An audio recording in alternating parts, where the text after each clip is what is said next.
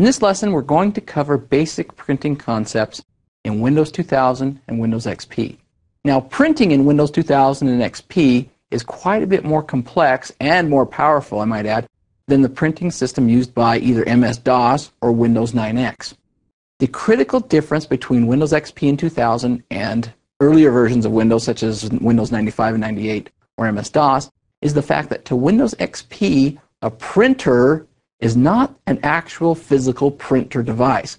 Instead, a printer, from the Windows XP's operating system's perspective, is a logical software entity. This logical software entity that it calls a printer can control one or more physical printers. Let's take a look at how it works.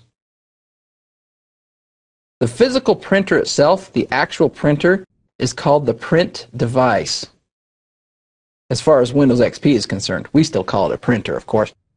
But as far as Windows XP is concerned, that is a print device.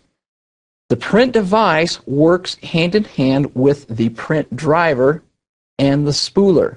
All of these components work together into a logical printer.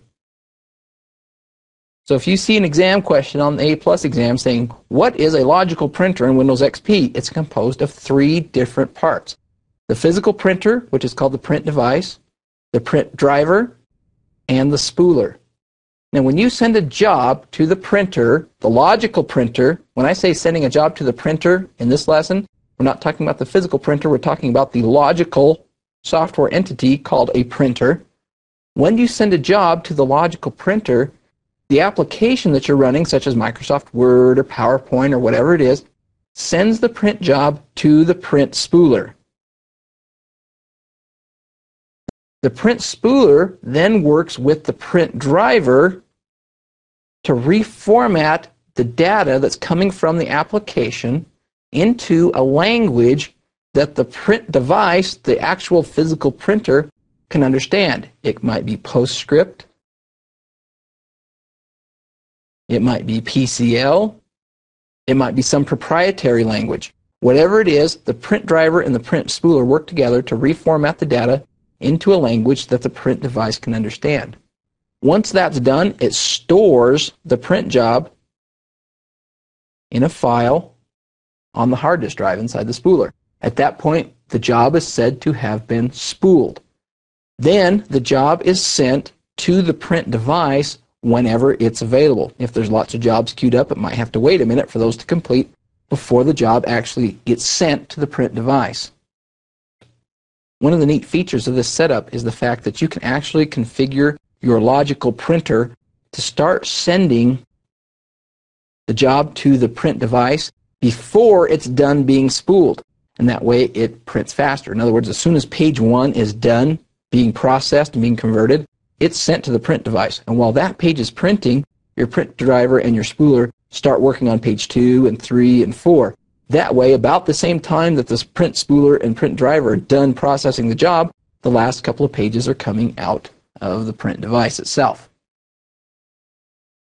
Remember that when you're talking with your fellow technicians and you say, I'm going to send a job to the printer, we're talking about the physical device. However, if we're talking about how Windows submits a job to a printer, remember that the concept of a printer from the operating system perspective is not the physical device at all, but it's a combination of the print driver, the spooler, and the print device, the logical entity called the printer.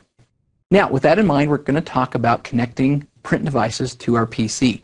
We're going to talk about connecting locally, primarily. When you connect a printer to the PC, one of two things is going to happen.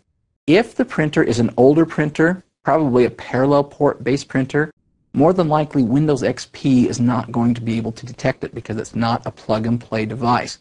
If that's the case, then you're going to have to manually install that printer. If you go into your control panel, to your printers and faxes app, you can set up that printer manually.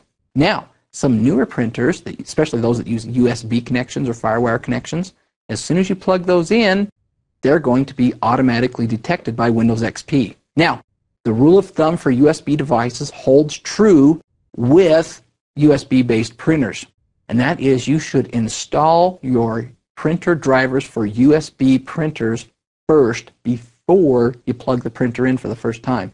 That way, your system has the drivers that it needs. more than likely, depending on the type of the printer, you'll have a CD that's full of applications and drivers that need to be installed before you can install the printer.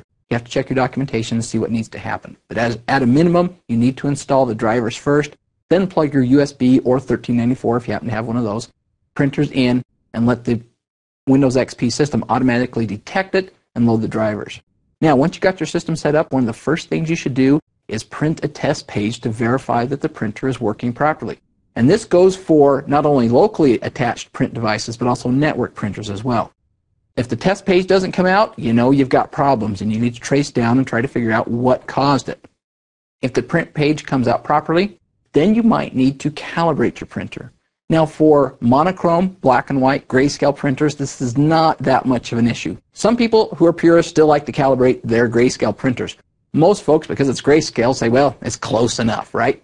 But if you're dealing with a color printer, especially a very high-end color printer, you may need to calibrate it. Most printer drivers allow you to calibrate your printer. That means it allows you to customize how the colors appear in the printout. To do this, what you need to do is go onto the internet and download a test image. If you go to Google and put in test image or calibrate test image or printer calibrate test image into the search field, you'll probably find a whole ton of different images that you can download for calibration purposes. You download the image, display it on your monitor, and we're assuming here that you have your monitor colors set correctly.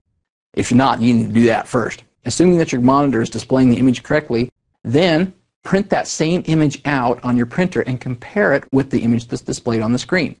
Depending on the device driver and depending on the type of the printer, there'll be some type of interface in the device driver that will allow you to customize the colors until you get the best match between the printout